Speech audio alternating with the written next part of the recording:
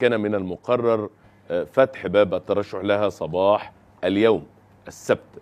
كما نتحدث في هذا الجزء عن تأثير تأجيل الانتخابات على الوضع السياسي والاقتصادي والأمني الذي صار كما ترون وكما تابعنا.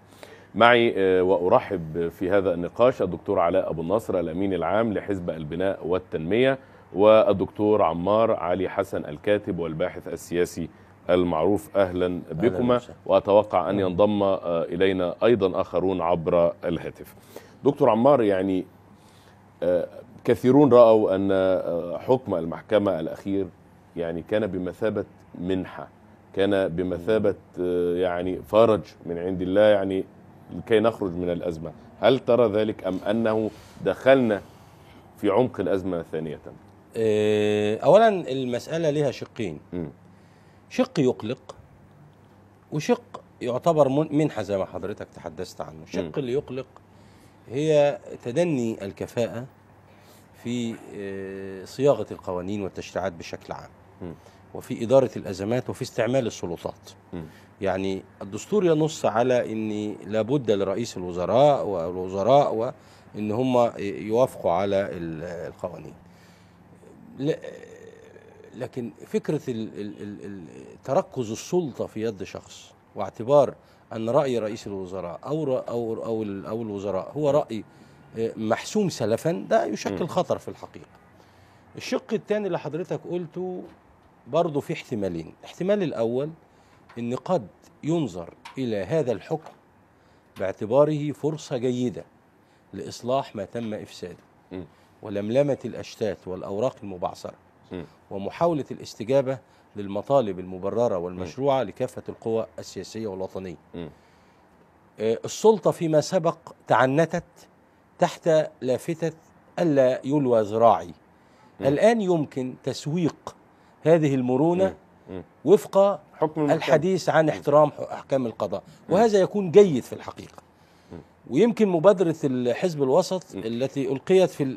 ممكن يعني يعني أكيد سنتعرض لا لا يعني آه. تشكل تشكل يعني قوة دافعة مجرد اقتراح يمكن أيضا م. البناء عليه لكن في وجهة نظر أخرى وفي احتمال آخر إن السلطة أيضا تعاند وتتعنت وتكسب الوقت وتقول بشكل واضح. م. أنا لست مستعجله على البرلمان. لدي مجلس تشريعي مجلس الشورى عنده صلاحيات التشريع ولسنا مستعجلين على البرلمان. ويبقى الوضع على ما هو عليه.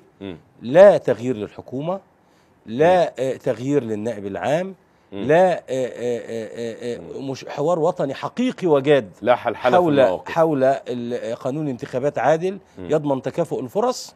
والمجلس التشريعي موجود لدينا ومجلس الشورى والانتخابات تجرى وقت ما تجرى. طب دكتور علاء يعني نفس السؤال هل أدخلنا حكم المحكمة في مأزق آخر أم أنه أعطى هدية يعني بحكمه أن يجب إعادة مشروع قانون الانتخابات أو قانون انتخابات المحكمة الدستورية مرة أخرى ووفر علينا مجهودا ومالا و وصداعا في الرأس يعني كنا سنعاني منه؟ نعم بسم الله الرحمن الرحيم. نبدأ بالكوم النصف الكوب المملوء الأول م. الحتة الإيجابية في هذا الحكم. أولا ربما كان هناك بعض الأحزاب لم تستعد الاستعداد الجيد للعملية الانتخابية وبالتالي هذه الفرصة تكون سانحة لهم. بالوقت يعني اللي هو عقبال ما القانون ينتهي تكون فرصة جيدة لهذه الأحزاب أن يعني تعيد ترتيب صفوفها من جديد. هذه واحدة. الثانية أنه هناك بعض التحالفات كانت في الطريق ولم تحسم بعد. فهذا الوقت ربما يعطي الفرصة لهذه التحالفات أن تتبلور وتتضح. الإيجابية الثالثة المقاطعون. أنا كنت شايف يعني مقاطعة البعض وإن كان الانتخابات كانت هتجرى والعملية هتمشي وتسير ولن تتوقف عند مقاطعين. ولكن هذه فرصة طيبة لإعادة النظر مرة أخرى من قبل هؤلاء المقاطعين أن يعودوا إلى هذا المسير ويلتحقوا بهذا الركب ربما يكون في وجودهم شيء جميل من ناحية التنوع من ناحية إسراء الحياة السياسية وجودهم مطلوب ومهم ايا كان توجهاتهم وايا كان أيديولوجياتهم. فديت أمور يعني إيجابية لابد أن ننظر إليها. هناك نقطة سلبية. لكن اسمح لي أنا ربما أنا قد أخطأت في تحديد السؤال إنما سؤالي أن هذه الحكم هو أخرج الرئاسة أو أخرج حزب الحرية والعدالة أو أخرج الذين كانوا يستعدون لخوض الانتخابات من ورطة أن تكون تلك الانتخابات غير شرعية وغير قانونية. ربما ولكن هناك نص في الدستور أن هو آه، بعد آه، يعني الرقابة المسبقة للمحكمة الدستورية لا يجوز الطعن على هذا القانون أمام أي محكمة. فبالتالي لو كان ال- ال- القانون عمل به كان خلاص انتهى وكان حسن تماما لأن ده نص دستوري. إن هي المحكمة الدستورية ليس لها رقابة إلا مسبقة فقط. وبعد التعديلات وبعد إصدار القانون وبعد العمل به لا يجوز الطعن فيه ابدا. النصف الفارغ بقى. آه النص الفارغ إن أنا أخشى من تطويل الفترة الانتقالية. لأن زي ما حضرتك عارف الدستور بينص إن المحكمة الدستورية 45 يوم أو تبت في هذا خلال 45 يوم. فهي من حقها. ممكن تحكم دلوقتي وممكن تحكم بعد 45 يوم. فبالتالي إذا افترضنا جدلا إن يعني إن هي قعدت 45 يوم وهيعود القانون إلى مجلس الشورى إذا. كان هناك تعديل طبعا حسب السيناريو اللي بيقول إن في. تعديل ربما تقول هو القانون سليم وتمام. لكن إذا افترضنا ان هناك تعديل ويعود إلى مجلس التشريع ويعدل وفق ما رأت المحكمة الدستورية فلا بد وفقا. للحكم الأخير دوت. إن هو يرجع لها تاني وقدامها كمان 45 تمام فالتطويل دوت أنا لا أخشى هو التطويل ليس 45 يوما يعني الدكتور عمار على حسن أنت كتبت أن المسألة قد تطول لأنه ليس هناك إلزام للمحكمة الدستورية أساسا لا المحكمة 45 الدستورية. لازم 45 يوم تقرير المفوضين. لا هي تنظر بعده في إذا حولتها لها المحكمة المحكمة الإدارية حكمت بالتحويل للمحكمة الدستورية لكن هو كان واضح في الحقيقة. في في مشكلتين في الموضوع إن حتى. يعني هم انفردوا بوضع الدستور وانفردوا بوضع قانون الانتخابات ولم يت... لم تكن لديهم الكفاءة المهنية. بحيث يقيسوا ويطابقوا هذا القانون على القاعدة الدستورية. وحتى في المسائل الإجرائية أيضا لم يراعي الدستور يعني أنت. دستورك وأنت تنتهك في الحقيقة. والمحكمة الإدارية لما حكمت حكمت على الجانب الإجرائي أو الجانب الإداري مم. إن رئيس الجمهورية ملزم بإعادة القانون ال- للمحكمة الدستورية لا وليس حكما ال- القانون نفسه يعني لمجلس ال ال ال والمجلس الوزراء لازم آه. يوافق معاه بغض النظر إن هو اللي معين رئيس الوزراء أو معين الوزراء أو هو بيعتبر إن رأي رئيس الوزراء آه، آه، يعني آه، مكمل يعني لكن هي في النهاية القاضي ينظر إلى النص هل عمل بالنص أم لم يعمل بالنص. ف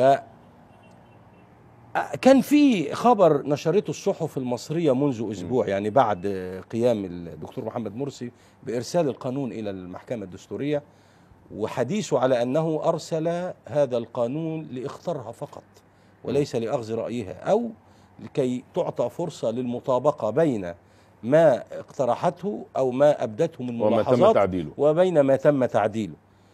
ووقتها قيل أن هناك مشكلة بالفعل. بعد موافقته على القانون ونشره في الجريدة ال- في الجريدة الرسمية. وظن أو راهن على أن الذين يطالبون بالمقاطعة آه، آه، سيتحللون بمرور الوقت. وقال هذا آه، لا زال هناك وقت مبكر. ودي أفعال فيها غاية في الاستبداد. ما ينفعش.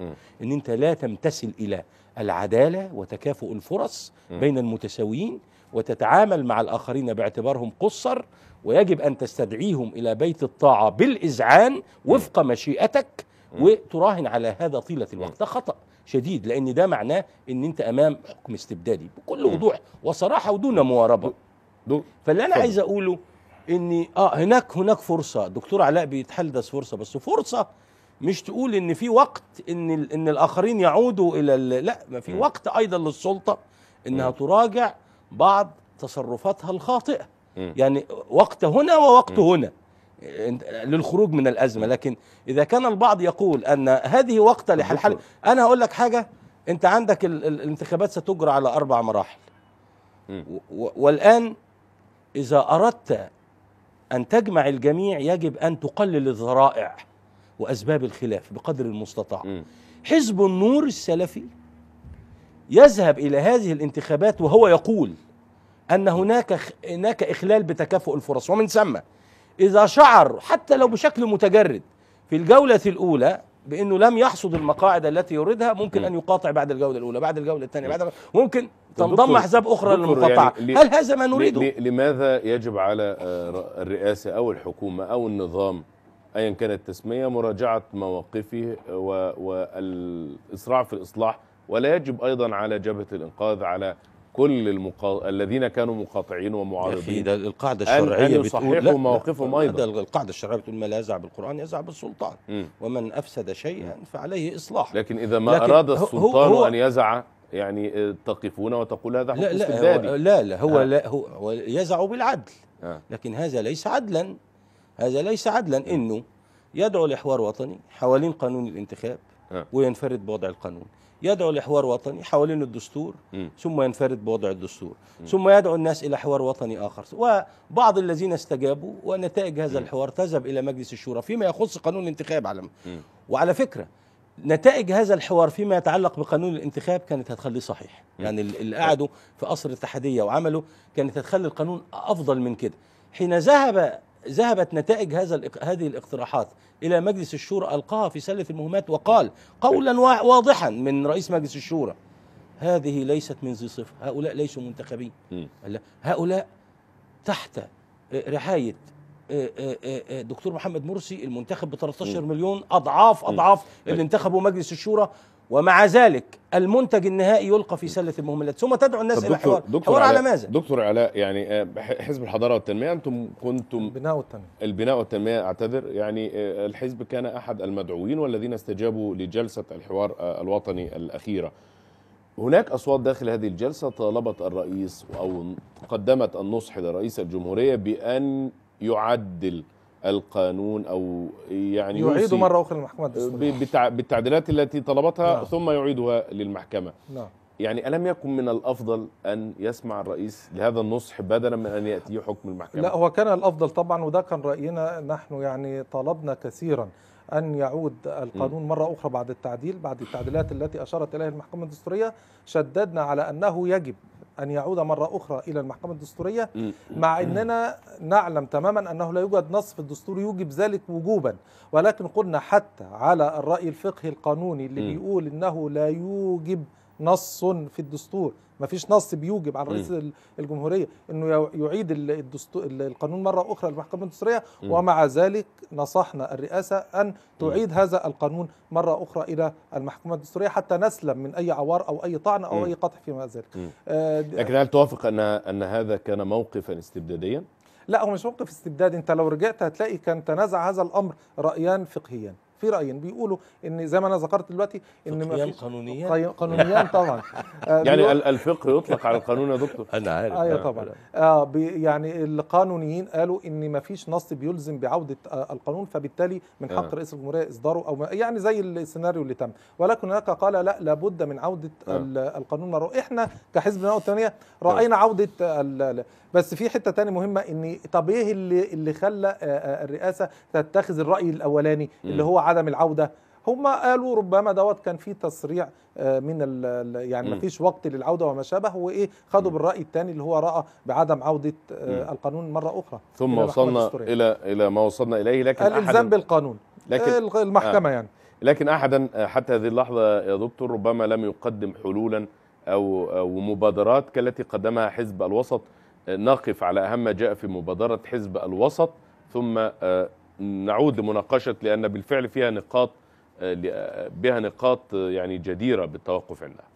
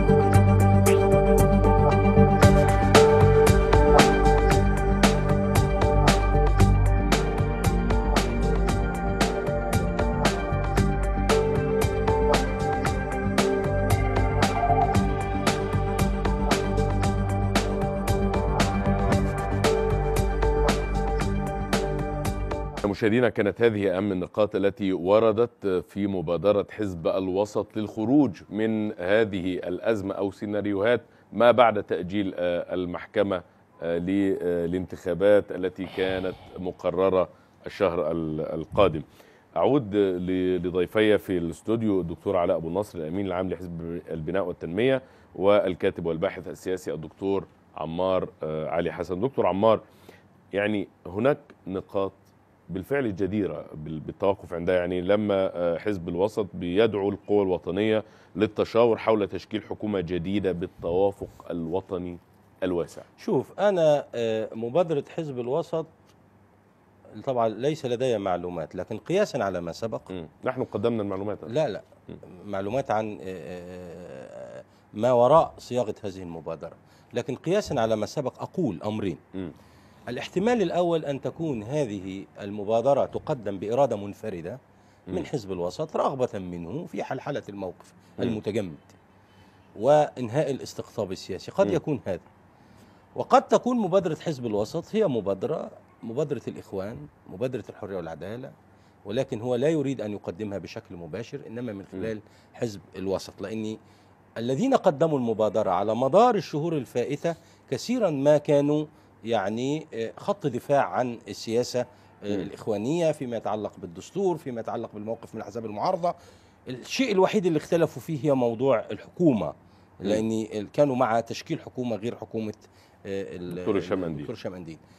آه، ومن ثم إذا بغض النظر عن ما لو كان بالعكس أنا أتمنى إنها تكون يعني إن هم بيقدمونها نيابة عن الإخوان بس. لا أعتقد أن الإخوان من الممكن أن يسمحوا لأحد أن يقدم شيئا بديلا عنهم. يعني دي مش في دي مش في تصوراتهم. دي يعني لا لا لا لا. أنا عارف ده. آه. يمكن للآخرين أن يخدموا من تلقاء ذاتهم. لا. ليس عند الإخوان مانع. لكن إن هم يكلفوا أحد أن يقدم شيئا غيرهم لا أتصور ذلك. وإلا يبقى في ذكاء سياسي آه. لم نعهده في المرات دكتور علاء سأسألك عن هذه النقطة آه، من المبادرة في تشكيل الحكومة لكن أيضا أنتم فصيل مهم جدا وفصيل تاريخي في التيار الإسلامي العام. هل ترى أن الإخوان يلعبون هذا الدور ببقية ال- ال- الروافد الممثلة لهذا التيار؟ لا طبعا هم آه، القوى الأخرى يعني معذرة في مش مش امعه لدرجة إن الإخوان يتلاعبوا بهم أم أو يصدروهم في مشهد معين. وإن قام هؤلاء الأطراف بمثل هذا فبيبقى عن قناعة تامة عندهم.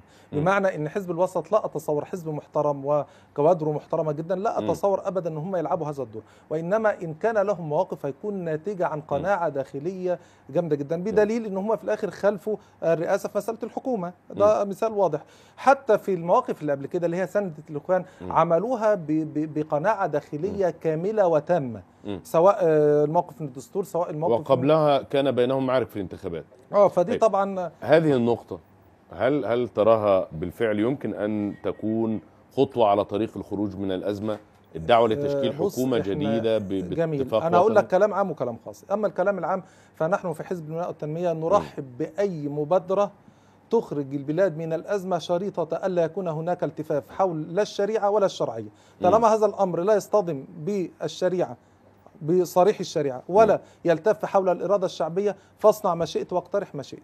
ونحن معك. ماشي. ده على ال على ال الإجمال. أما عن التفصيل فنحن لنا ملاحظات. يعني على سبيل المثال ال- موضوع القانون.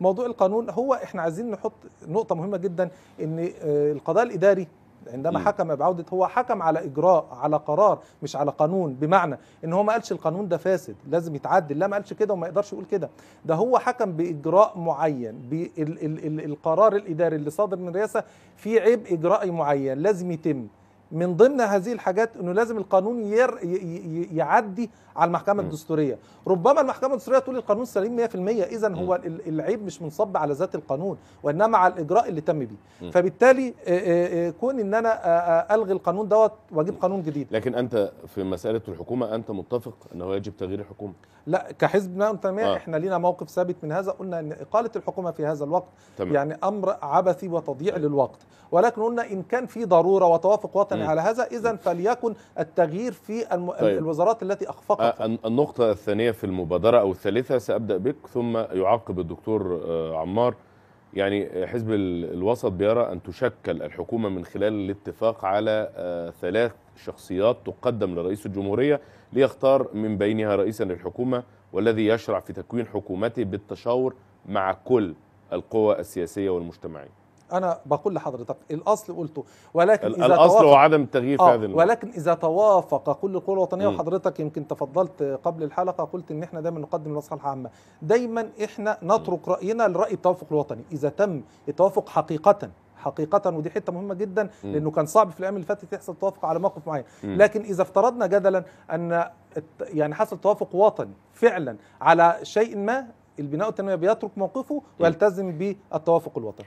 دكتور هل يمكن لهذه القوى المتناحرة والمتصارعة والتي صدعت رؤوسنا من كل الاتجاهات من أول اليمين إلى اليسار أن تتفق على مبادرة حزب الوسط فيما يخص اختيار ثلاث شخصيات هل والله هل يستطيعون؟ آه، يعني آه، السبب في لا أصل إحنا دايما نم نمسك الأعراض ونترك سبب العلة مم. سبب المرض هو انفراد السيد الأستاذ الدكتور المهندس محمد مرسي بالإعلان الدستوري في نوفمبر 2012 هي دي بداية المشكلة.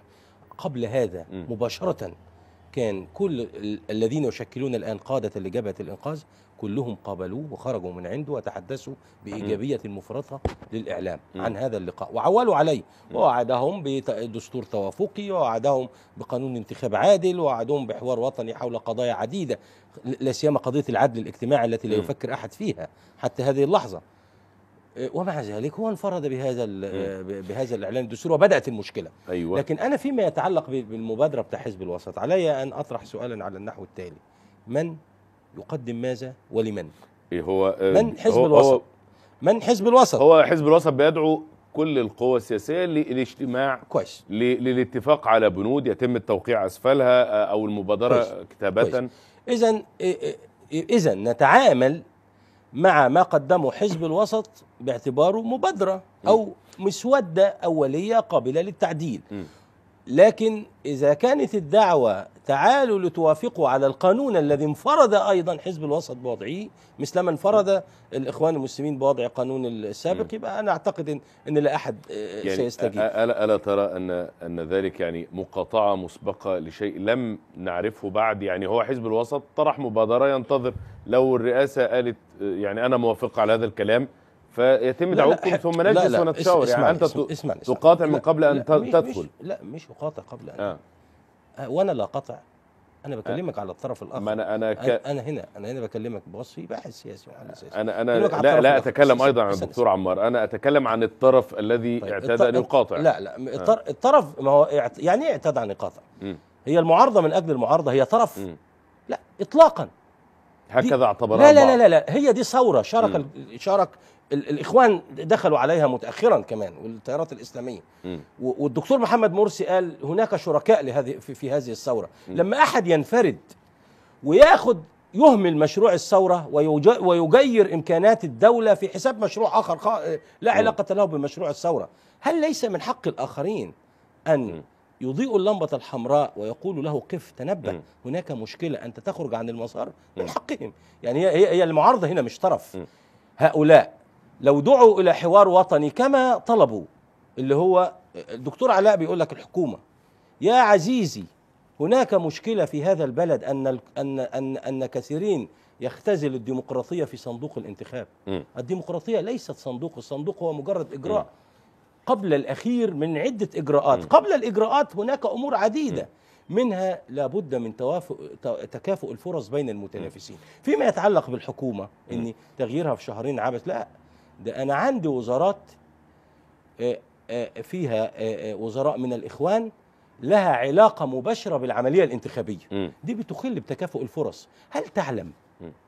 إن أيام الحزب الوطني على سبيل المثال ما دي, دي الإجراءات اللي كانت ودي على فكرة سائدة في الدول الاستبدادية. وتزال مستمرة بمعنى إن الدولة أحيانا تحبس الحقوق. للمواطنين في المحليات وتفرج عنها قبيل الانتخابات وما تديهاش لمرشح المعارضة ولا لنائب المعارضة في البرلمان بتديها لمرشح الحزب يعني الحاكم. البعض يرى أن انتخابات مجلس الشعب الذي حل يعني كان ما كانش معاهم الحكومة. كان كان كانت- كانت اثناء معينة. أثناء كانت- هذه الانتخابات آه. كان هناك شخصيات في الحكومة لها اتجاهات لا لا لا ابدا. واضحة غير إسلامية و... لا، و... دي وأشرفت حكومة على دي الانتخابات. حكومة حكومة كان مسجل مش مشكلها المجلس العسكري م. اللي ما دخلش طرف في العملية الانتخابية ما كانش مرشح لوقت في العملية الانتخابية وكان بيتعامل إن دي مرحلة مؤقتة و- وينيها وللأمانة يعني وده هيحسب في التاريخ إن هي يعني قياسا إلى ما سبق يعني في تاريخنا كله. هي انتخابات 76 فقط. والانتخابات والاستفتاءات اللي جرت أيام المجلس العسكري كانت جيدة. يعني باتفاق الكل محدش يقدر ينكر في ذلك. وكان تكافؤ الفرص موجود لأن ال ال ال وزير السياحة مثلا اللي كان من حزب الوفد لا علاقة له بالعملية الانتخابية. لكن وزير التموين له علاقة بالعملية الانتخابيه. وزير الداخلية له علاقة بالعملية الانتخابيه وزير الشباب له علاقة بالعملية الانتخابية. لو خد بال حضرتك؟ وزير التنمية المحلية له علاقة مباشرة بالعملية الانتخابية. وبالتالي وزير هذا القوى العامله وزير القوى العامله هذا يخل بتكافؤ الفرص بين المتنافسين. فالناس اللي بتطالب بحكومة مش فقط عشان مم. إن هم شايفين إن الدكتور هشام انديل ليس رجل المرحلة وليس لديه الكفاءة لكن أيضا بما في ذلك حزب النور بدأ يتحدث الآن عن الإخلال بتكافؤ الفرص. بما في ذلك أطراف في التيار الإسلامي لديها رأي منصف ومستقل. دكتور علاء هل تعتقد أن البعض في في جبهة الإنقاذ أو في بقية التيارات التي تعارض الرئيس مرسي هي محقة فيما تراه أنه يعني بالفعل هو يدعو لجلسة حوار ثم يفعل ما يريد هو يدعو للنقاش ثم القرارات معدة مسبقا. هل المساله بهذه الصورة أم أننا نظلم آه، الحكم؟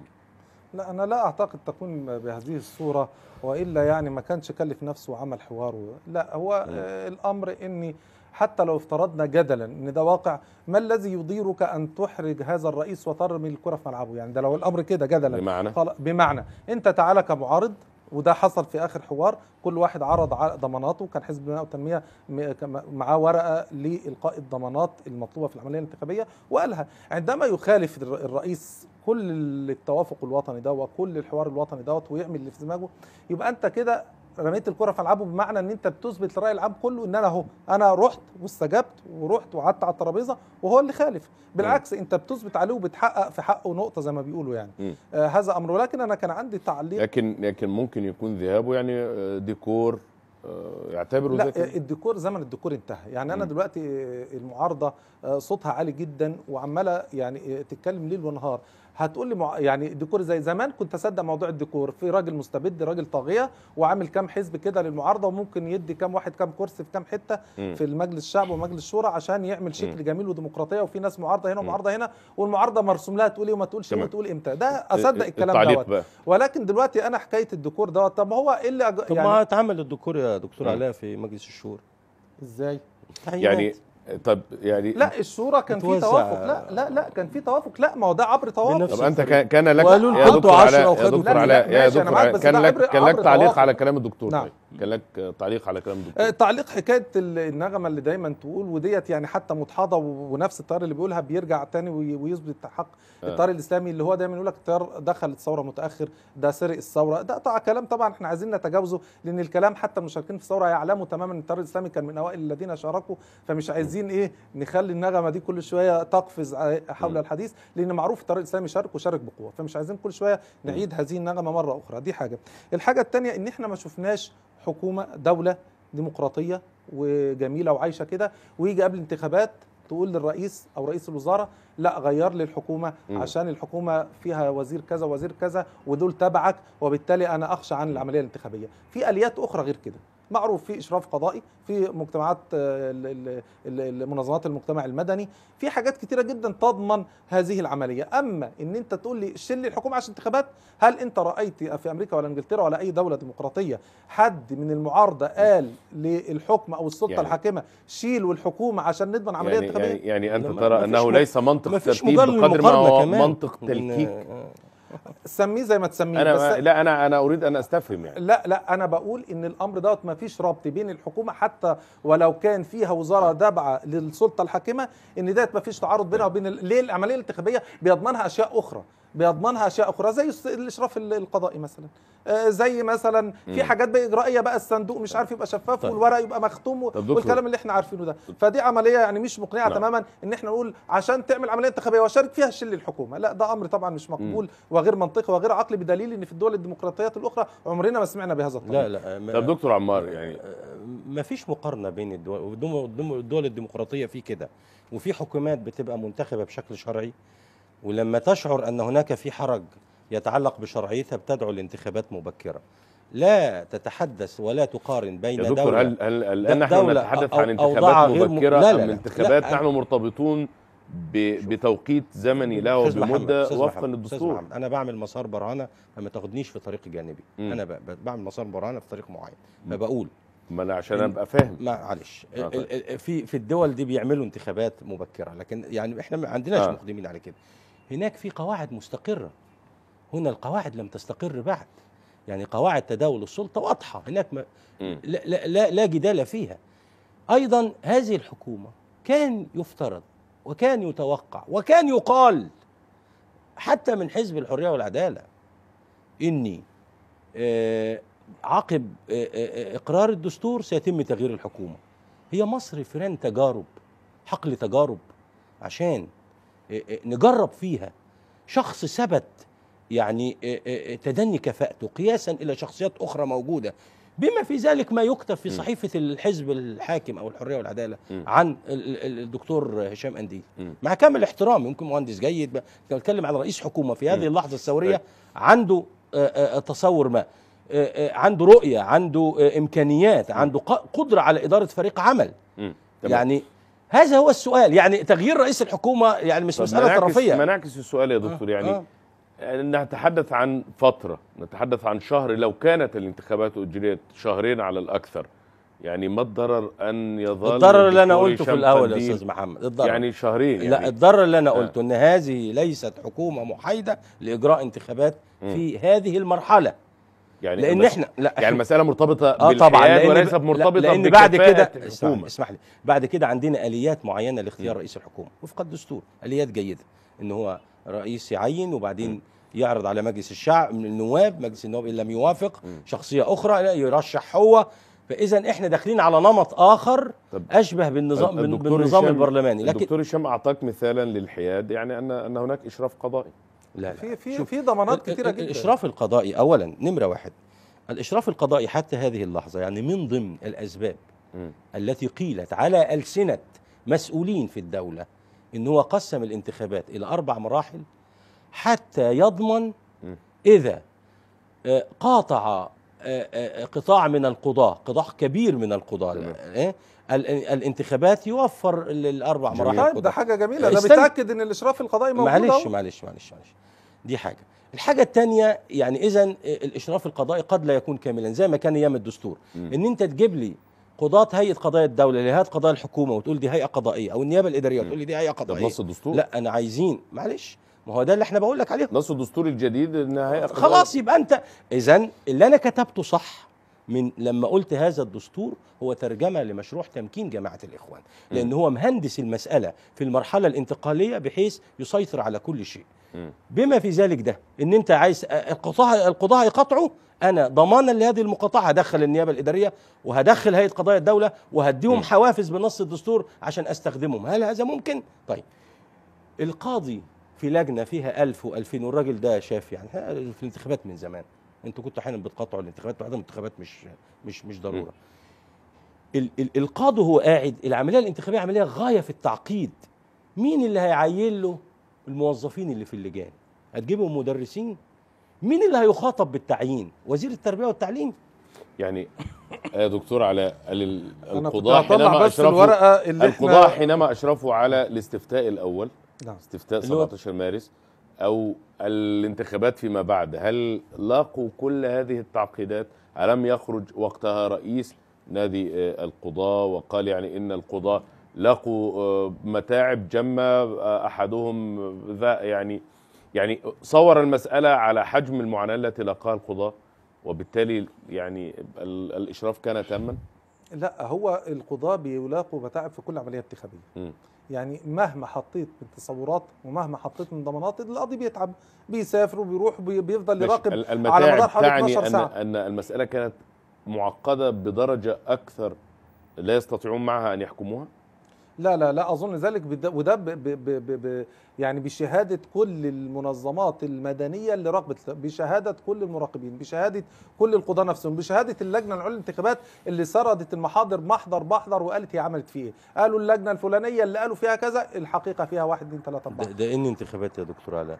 اللي هي أيام المجلس العسكري ها؟ لا لا إيه. والانتخابات الاخيره اللي- والت- انتخابات- والاستفتاءات الاخيره لا الاستفتاء الأخير كان الدكتور حلمي الجزار اللي هو قيادي يعني كبير جدا في إحنا أنا أنا. ضربت يا دكتور كان أنا ضربت موجود في. لجنة من اللجان بيعد ورق وبي وبيسال يا دكتور لا، يا دكتور أنا ضربت أنا ضربت مثالين لا، لا، لا، لا، الاستفتاء لا. ثم الانتخابات يعني لم أتحدث عن الاستفتاء الأخير نعم. طيب دعنا ننتقل خطوه إلى الأمام هل بعد هذا الحكم من بين السيناريوهات المتوقعة ايا كان شكل الحلول وال- والخروج أن تهدأ حالة الاحتقان والاستقطاب أم اننا سنظل محلك سر لا إحنا هنأمل في ذلك. ما هو أنا في بداية الحلقة قلت إن من كلنا نتمنى أن أسألك عن توقعك. آه السلبيات ما أنا هقول لحضرتك. من السلبيات ال- أو السلبية أخطر سلبية في الحكم بتاع اول امبارح هي تطويل الفترة الانتقالية، الفترة الانت- الانتقالية ديت معروف إن فيها توترات وقلق، القلق بي- بيؤدي إلى احتقانات وحرائق واشتعالات، بيؤدي إلى قصور في الناحية الأمنية، كل ده كله بيؤدي إلى قصور في الناحية الاقتصادية، دي حاجة معروفة. فبالتالي إحنا بنقول كنا عايزين نسرع في العملية الانتخابية عشان نس- نستكمل المؤسسات التي لم تستكمل بعد. يبقى الفراغ التشريعي دوت يسد لأن المجلس الشورى مهما كان مش هيقدر آه، يسد هذا الفراغ كاملا لابد من وجود مجلس تشريعي. وبالتالي هننتقل نقله بالبلاد إلى نقلة الاستقرار اللي تؤدي إلى بقى العلاج الاقتصادي وال- والأمن والى اخره فديت كانت نقطة مهمة جدا. فأنا أرى إن شاء الله إن الانتخابات القادمة ويعني مجيء المجلس التشريعي هيكون خطوة مهمة جدا جدا نحو الاستقرار. طب دكتور عمار يعني سؤال عن توقعك ورؤيتك لتصرف جبهة الإنقاذ. القانون لو عاد للمحكمة الدستورية وتم يعني خلاص أصبح لدينا قانون للانتخابات والانتخابات على الأبواب. هل تتوقع أن تظل الجبهة مقاطعة لأن الحكومة لم تتغير؟ طيب آه النهارده ال- آه، الابن الأصغر للمهندس خيرت الشاطر كاتب حاجة ظريفة على الفيسبوك. عن عن جبهة الإنقاذ؟ لا عن إن ال- ال- الجو مترب جدا هذا اليوم أين البرلمان مم. يعني ده ده الدكتور عصام العريان لما كان يحصل حاجة يقول. لك أين البرلمان في وهم اسمه استكمال المؤسسات طب ما إحنا استكملنا المؤسسات أيام الجنزوري وأيام المجلس العسكري كانوا يقولون مكنونا من الرئاسة مم. نحن بلا سلطة تنفيذية أنت معنا البرلمان تعلق يعني لم تجب آه، على آه. سؤالي آه ما- معنا البرلمان لكن ليس معنا السلطة التنفيذية نريد السلطة التنفيذية حتى نستطيع أن نفعل شيء. خدوا الرئاسة هي أعلى منصب تنفيذي في. البلد. وحولوا مجلس الشورى البرلمان. وبعدين يقول لك التشريعات طب ما أنا عندي مجلس الدولة عند يشرع ويشوف قوانين ويراجع قوانين وهو في منتهى الدقة. امبارح قانون ال- ال- الحراسات الخاصة اللي عايزين يسلحوا ناس في الشوارع عشان يعملوا حرب اهليه بتعمله وزارة العدل بناء على طلب وزارة الداخلية طب دكتور يعني يعني وزارة العدل دكتور أنت- فيها قسم للتشريع أنت استنى. أخرجتني من السؤال والبرلمان. بيشرع يعني أنت عجل لا فكره فكرة- إليك سؤال فكرة استكمال إليك سؤال. ثالث هل آه. بعض هل. بعض المحللين والمراقبين أصبحت لديهم تيمة أو آه، لا أريد أن أسميها يعني يعني عادة تشبيه الإخوان بالحزب الوطني وتشبيه الرئيس مرسي بالرئيس آه، السابق مبارك يعني هذا لا، هو هذا هو الطريق الوحيد آه للانتقاد لأن الآن في لأن في مطابقات يعني دي مش مم. مش كلام جزافي مم. الفرق الوحيد بين مبارك ومرسي مم. ليس هو الشخصين لكن اختلاف الظرفين أن الثقافة السياسية للشعب المصري تغيرت. اللي قاله الدكتور علاء. ان دلوقتي ما حدش يقبل يبقى ديكور. ما حدش يقبل يبقى اماع غير لو هو إن- عنده تأصل للاماع إنما رأس إن الحكم الشعب المصري لا رأس الحكم. شوف أي سلطة في الدنيا. أنت بكرة لو قلت لميركل ولا أوباما إن أنا هشيل الدستور الأمريكي وأحلك من بعض ال- الالتزامات وبعض الرقابة وما أعرفش هيبقى مستبد. مم. طيب. أي سلطة نازعة. للاستبداد. الذي هل لا فرق؟ هل لا فرق بين بين الرئيسين؟ يعني. هل لا فرق بين الرئيسين؟ سواء طبعا ان الشعب تغير؟ لا طبعا. اولا آه، بس أعترض على الدكتور في مسألة آه، دستور الإخوان. بعترض على الإخوان كانوا كام؟ 33 يعني هم اللي بيصوتوا بالأغلبية. طب. لو الإخوان 33 فين السبعة و... آه، ولا 73 الباقيين ولا ال 67 دولت يعني؟ فحكاية دستور الإخوان دي برضو يعني أنا. أتحفظ عليها جدا يعني. والرئيس؟ آه، جاي لك. برضو حكاية حرب شوارع. يعني أنا لو عايز أتسلح وابقى في حرب شوارع مستني قانون بالله عليك يعني. أنا عايز أخرق القانون. هخرق القانون بقانون. يعني برضو عايزين يبقى في شيء من المنطق والعقل. أنا لو عايز آه، أعمل حرب شوارع زي ما بيقولوا طب ما السلاح مليان. ده ال- ال- العيال في في في ال- الصيبيا اللي بيرموا ال- ال- الشرطة والمنشآت بالحجارة دولت يقدروا يسلحوا نفسهم. يعني إذا السلاح مش بعيد وحرب الشوارع مش بعيدة والميليشيات مش بعيدة ولكن الأمر أكبر من كده. إحنا عايزين دولة مؤسسات ودولة قانون. فحكاية أنا مش مستني اعمل قانون عشان اسلح الناس أو انزل ميليشيات الكلام ده كله برضه كلام وهم معلش صبرا عليا شوية. موضوع بقى تشبيه الحزب الوطني بالحرية والعدالة آه. والرئيس مرسي مبارك ده قمة الإجحاف وعدم الإنصاف. يعني مم. يعني أنا أنا مش عايز اسب في هذا الأمر لأن هو واضح جدا يعني. مم. يعني الرئيس بيشتم ليل نهار ويسب ليل نهار. هتجيبه زي حسني مبارك. آه، ال- ال- ال- مش عشان هو مش عشان هو احنا- صدره رحب هو أكثر هو أكثر طغيانا في تركيبته النفسية من حسني مبارك أو زيه.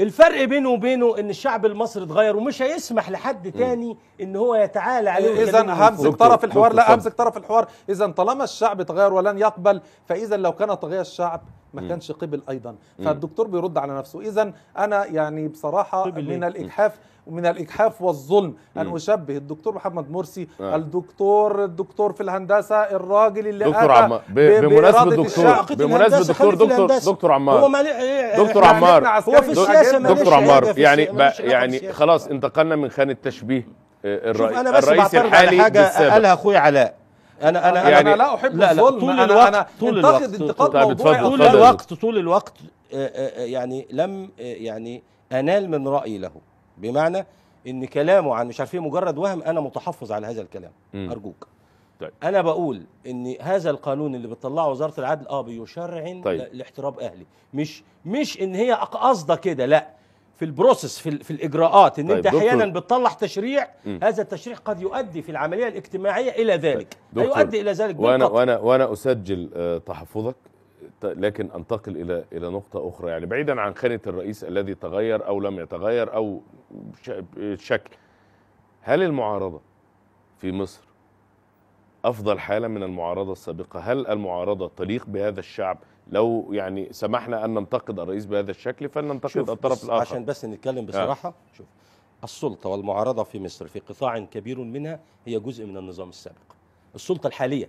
الم... لا طبعا. خلينا بقى نتكلم في المعارضة. لا لا ما أنا هكون إحنا اتكلمنا في السلطة. هقول لك ده تخارج من شوف بص أصل النظام السابق ده مش أشخاص.